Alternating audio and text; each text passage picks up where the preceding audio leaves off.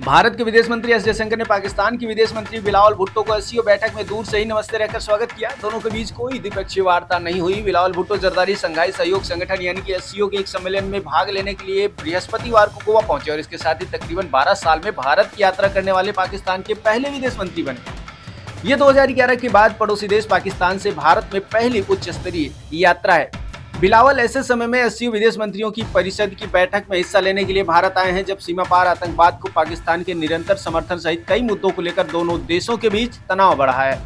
जयशंकर ने शाम को रूस, चीन, पाकिस्तान और संघाई सहयोग संगठन एस के अन्य सदस्य देशों के विदेश मंत्रियों के साथ एक भव्य स्वागत समारोह की मेजबानी की और इसके साथ ही समूह के द्विदिवसीय सम्मेलन में हिस्सा लिया।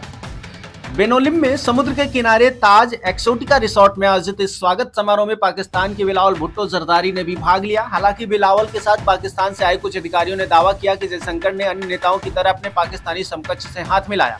लेकिन भारत की ओर से इस बात का कोई पुष्टि जवाब नहीं मिला है।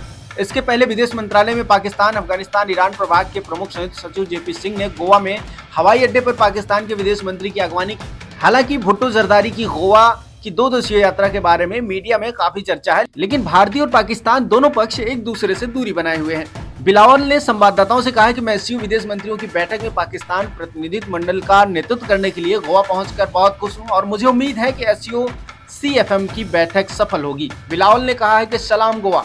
बिलावल ने सलाम गोवा भारत से शीर्षक के साथ ट्वीट किया और अस्सलाम वालेकुम, हम संघाई सहयोग संगठन एस की बैठक के लिए गोवा पहुँच गए हैं।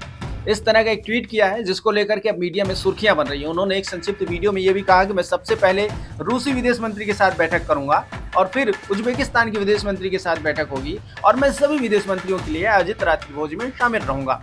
गोवा के लिए रवाना होने से पहले पाकिस्तान के विदेश मंत्री ने कहा था कि इस बैठक में हिस्सा लेने का मेरा फैसला एससीओ के चार्टर के प्रति पाकिस्तान की मज़बूत प्रतिबद्धता को दर्शाता है। उन्होंने कहा कि मेरी यात्रा विशेष रूप से एससीओ पर केंद्रित है और इसमें मैं मित्र देशों के अपने समकक्षों के साथ रचनात्मक चर्चा की उम्मीद करता हूँ। बिलावल 2011 के बाद से भारत की यात्रा करने वाले पाकिस्तान के पहले विदेश मंत्री हैं। उनसे पहले हिना रब्बानी खान ने 2011 में शांति वार्ता के लिए पाकिस्तान के विदेश मंत्री के रूप में भारत की यात्रा की थी। खार फ़िलहाल विदेश राज्य मंत्री की ज़िम्मेदारी संभाल रही है। वहीं मई 2014 में पाकिस्तान के तत्कालीन प्रधानमंत्री नवाज़ शरीफ, प्रधानमंत्री नरेंद्र मोदी के शपथ ग्रहण समारोह में हिस्सा लेने के लिए भारत आए थे।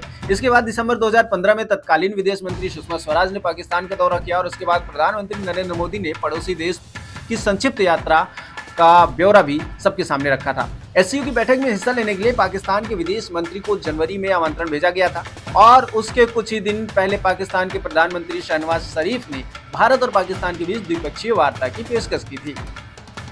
कुल मिलाकर अब देखा जाए तो इस बैठक में आने के बाद पाकिस्तान के विदेश मंत्री और भारत के विदेश मंत्रियों के बीच का जो रवैया मीडिया में सुर्खियाँ बन रहा है, वो अपने आप में अहम है।